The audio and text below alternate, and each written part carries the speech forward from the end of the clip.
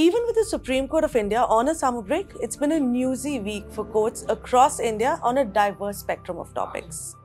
With the High Courts going on break starting next week, important developments have occurred in some crucial cases this week. The Allahabad High Court has passed a detailed verdict on the maintainability of the Gyanvapi suit. The Karnataka High Court has called for a law against necrophilia, and even the national capital witnessed developments regarding the wrestlers' protest and the withdrawal of the 2000 rupee note by the RBI. Let's take a look at all that happened in the world of law during the past week.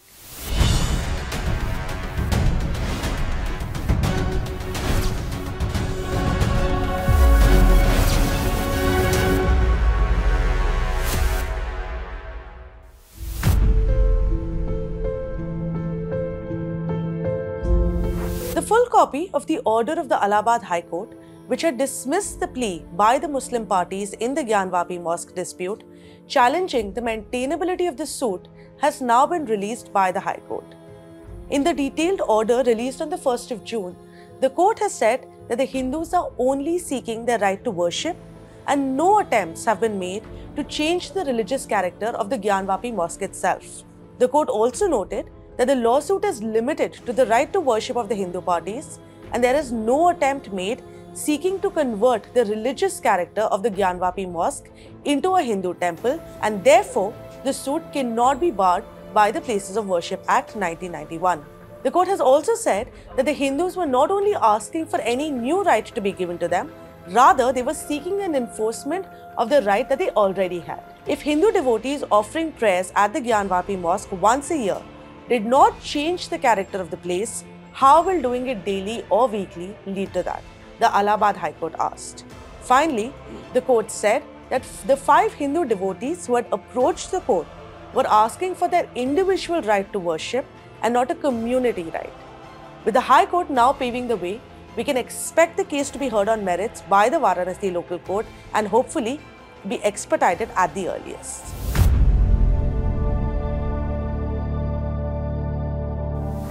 The Law Commission of India, headed by retired Justice Rituraj Awasthi, in its latest report has said that Section 124A of the Indian Penal Code dealing with the law of sedition should be retained with some amendments regarding circumstances under which it should be used.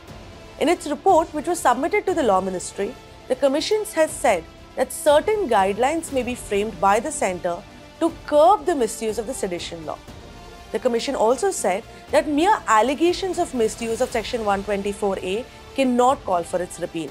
The Law Commission of India has listed several reasons for why the law of sedition needs to remain. The main reason cited by the Law Commission is the need to protect the unity and integrity of India. The commission headed by retired Justice Rituraj Awasthi says that freedom can be ensured to citizens only when integrity of the nation is secured first. The Commission also made certain recommendations to curb the misuse of the law, including altering the definition of sedition itself to now include a tendency to incite violence or public disorder and also altering the punishment from 3 years to 7 years.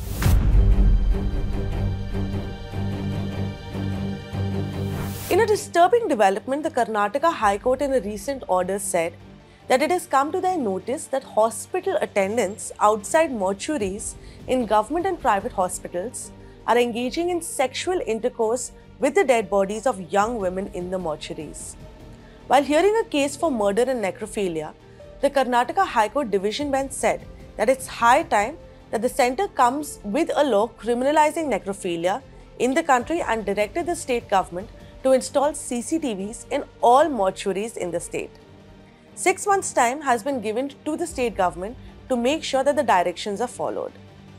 The man who had come before the Karnataka High Court was acquitted of rape even though he was convicted of murder because the High Court said that he had had sex with the corpse of the woman and not before he killed her.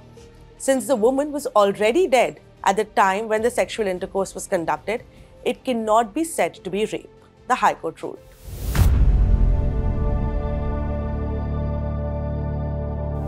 The Delhi High Court has asked for a response from the Registrar of the High Court and the Delhi government to determine which court will hear a plea for a court monitored probe into a minor wrestler's sexual harassment allegations against Wrestling Federation of India President Brij Bhushan Sharan Singh. Appearing for the minor wrestler, senior advocate Narendra Hooda submitted before a single judge bench of Justice Dinesh Kumar Sharma that one of the complaints has been moved on behalf of the minor wrestler. In fact, what has happened is that the Rouse Avenue court is the MP MLA court and the POCSO court is in Patiala House. There is no one court which deals with the MP MLA cases as well as POCSO matters, which is why the matter has now come to the Delhi High Court and it will be the Delhi High Court that will decide which court should finally hear the allegations by the wrestlers against the WFI chief, whether it should be the MP MLA court in the Rouse Avenue premises or the POCSO court in Patiala House. That's all the updates that we have this week. Keep watching Court Watch next week for further updates about what's happening in the world of law.